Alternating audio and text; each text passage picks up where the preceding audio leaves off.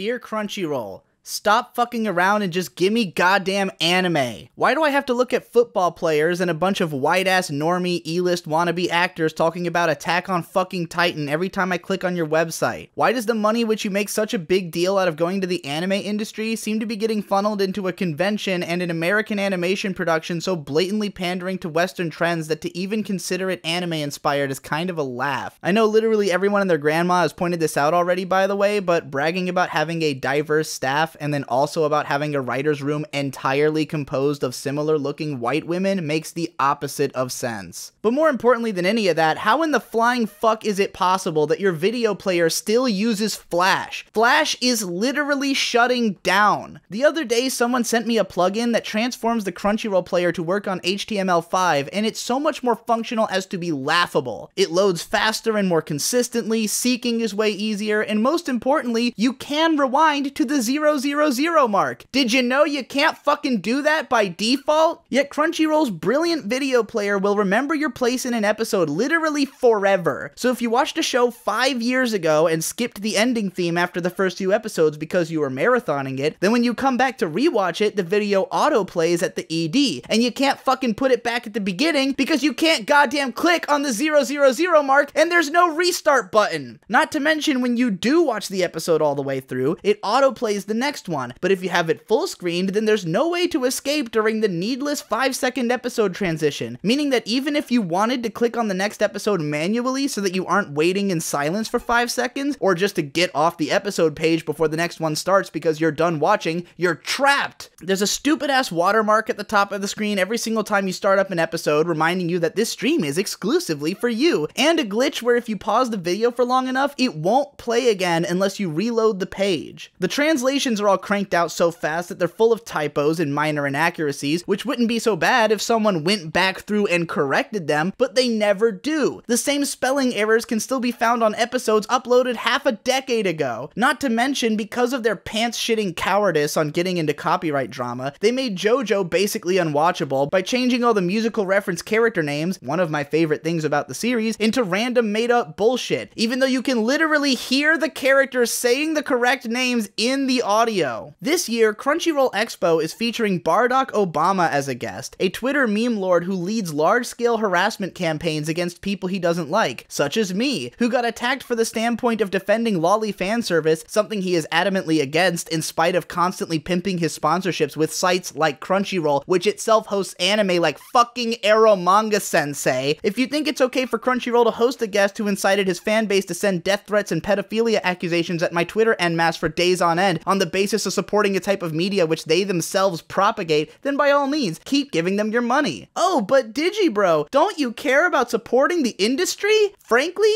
no. I don't really care about propping up the bad habits of idiotic corporations as they slowly eat themselves, nor am I so utterly delusional as to think that giving $7 a month to an American company so they can split it amongst the 30 or so production committees of all the different shows I might watch in a month after taking a cut for themselves to produce Tumblr the anime is going to service the industry in any way. Let half of these fuckers fold and see if they don't start rushing to find a more consumer friendly monetization paradigm in a matter of days. Fuck Crunchyroll and fuck their preachy narrative about how much they're doing for the industry. If the industry wants our support, they can find a way to give us a product worth supporting. If they can't do that, then fuck them.